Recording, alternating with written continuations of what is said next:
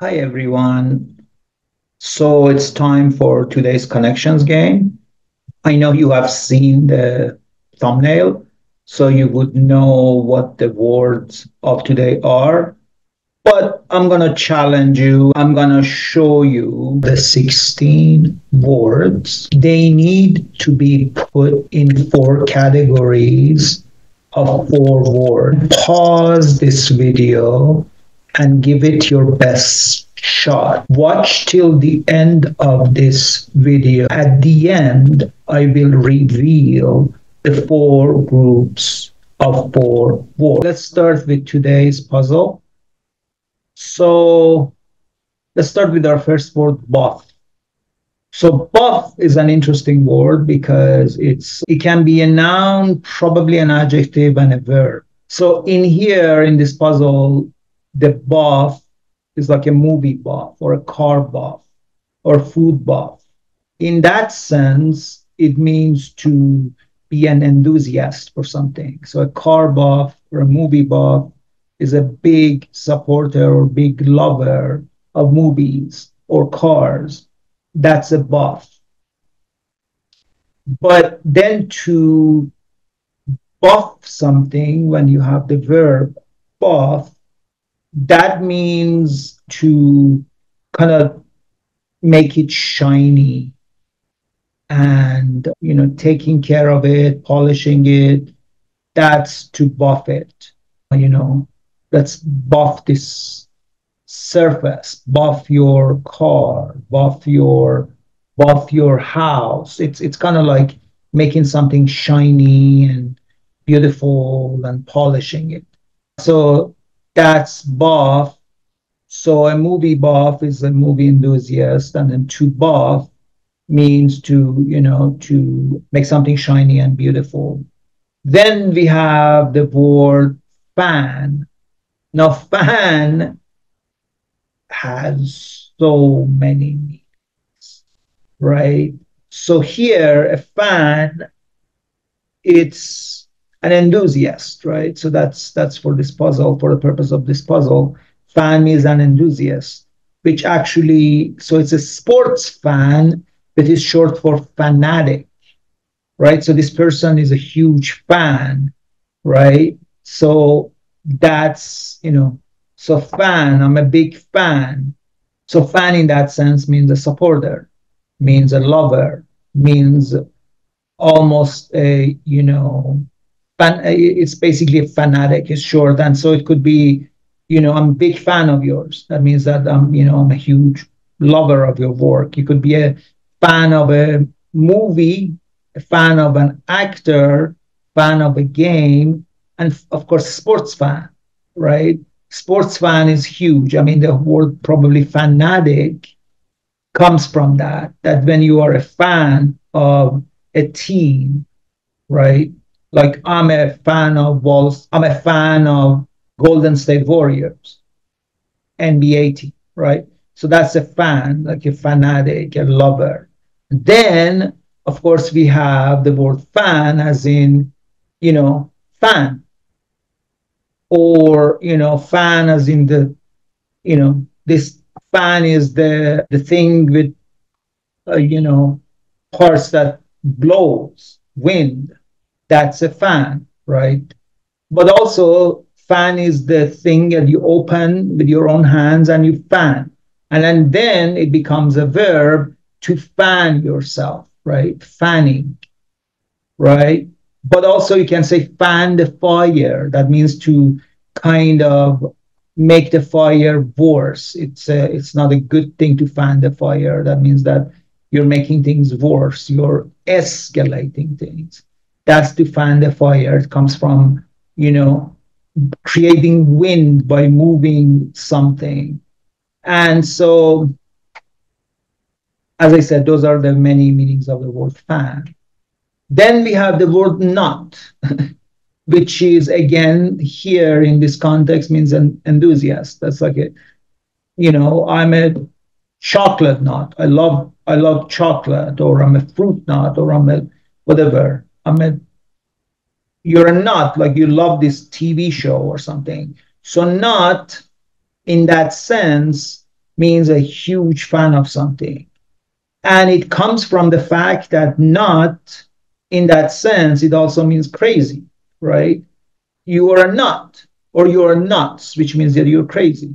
Or a nut house, which is actually a loony bean, which is a place where crazy people, mentally unstable people are kept. So not, you know, so that's a, I'm a, you know, I'm a sports nut. I love sports. I'm an NBA nut. I'm a basketball nut. I'm a whatever. I'm a car nut. So it's not in that sense. It's just like fan and a buff means a supporter, a lover.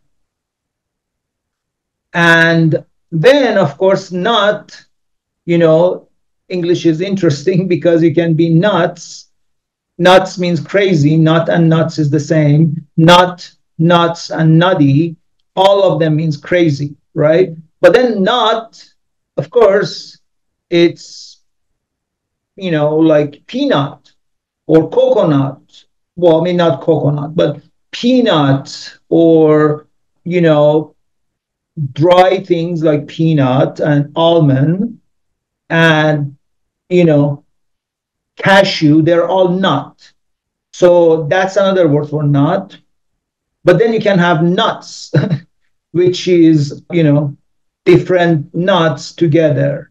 So you have cashews and you have almonds and pistachios and you know you have nuts. And of course then that the same nuts means crazy. So and you know it's interesting because in English, you can say, you know, somebody fruit is like a fruitcake. That means that they're crazy, and like or nutty fruitcake. That means that they're really crazy. Nutty fruitcake, all of them. That means crazy. And so in this context means enthusiast. And then finally, lover. You know, which is the simplest word. Lover means that you know I'm a car lover. I'm a food lover. I'm a you know lover of soccer, whatever. Lover but of course, lover, you know, it comes from the word love, of course, but it also lover means somebody's mistress or somebody's, you know, sexual partner. And you have a lover when you know that means that you're just this person is your friends with benefits. So that's lover. And so in that sense, you can say you can be a lover of like you know I'm a lover of chicken. I'm a lover of bananas, but also you are somebody's lover. That means that you know it's a sexual relationship thing. So yeah, so the four words for today were enthusiast word were buff, fan, not, and lover. Then we have the four words for making things shorter clip. Clip itself is interesting because clip, you know, it has many meanings. Clip, like a, you know, clip, like a video clip or audio clip. It's like a little bit of it. But clip also means to cut things, as in make sure there, as in this example. But also clip is like to punch somebody, clipping them. Did you clip them? As in, did you cut them? Or did, I mean, did you hit them? And so that's the word clip also. Uh, but you know, clip itself has so many different meanings. Maybe we do another video about clip. But you know, cut and piece and all these things are. And then of course there's the word make sure there is cut. Now cut, you know, cut is a simple word, but cut also is like you know, like when you're making a movie, say cut. So that's another word, uh, like a cut scene. And you know, I'm not cut for cut cut out for this, right? So it's like I'm not prepared for this task. And of course, I've talked about this importance of English language to not use to be very careful of when you have short versus long vowel sounds. So you can say cut, which is short, cut, or I'm caught. Caught, like caught up, which is the you know past tense of catch. So caught is not as cut. So this is very important to pay attention. Otherwise, you make a mistake and you know that you use them in the wrong places. So cut and caught are not the same. And then for the word make sure that again we have pair, like pare something down means to, you know, make them smaller. And it's interesting because, you know, pair is one of the words that you can write it in many different ways, right? So here, make sure there's P A R E, but then you can have the P A I R word, and that means couple, right? And so it's it's important to to distinguish. And even the word pear could be P E A R, which is the fruit pear. So each one of these is, is the same sound, but they're different. And then finally, for make sure that we have trim, and to trim means to again to make something shorter, to cut it, but also trim, you know, you can use it for your face or give me a trim. That means that, you know, cut my beard or something. So that's that's the trim, or you can even use it for clothes. So those are the words for make sure there, which is clip, cut, pare, and trim. And then we have words for muscular, which is built, you know, somebody is built, you know, they're very muscular, well built. So build, because build has to do with muscle and has to do with body shape. So when somebody is built, but of course, build comes from build and, you know, anything which is built. And then the word we have the word jacked, which is muscular. And jacked is not a very like it's you don't use it in a lot of places. Jacked is only used for this muscular thing.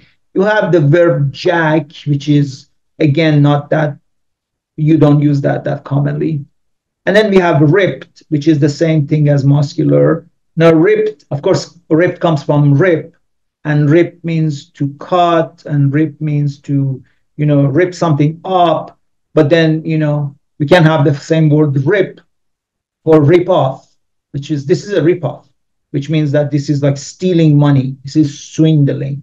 So that's rip off. So, but you can rip something up like a piece of fabric, but then you can be ripped, as in this case, which is muscular, build, ripped, and then finally, we have the word for muscular swole, which is, you know, it's not a very common word, commonly used word. Has probably something to do with soul and, and you know, soul and muscles and stuff like that. And then finally, the fourth group. So the third group was things that are muscular, which is built, jacked, ripped, and swole. And then the last group is the wrinkly things like brain. You know, it's this is weird game. Brain is wrinkly. Then prune. Prune is, you know, the fruit prune. Pug.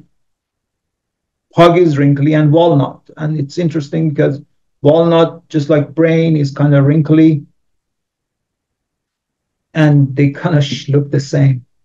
So, anyways, see you tomorrow. Thanks.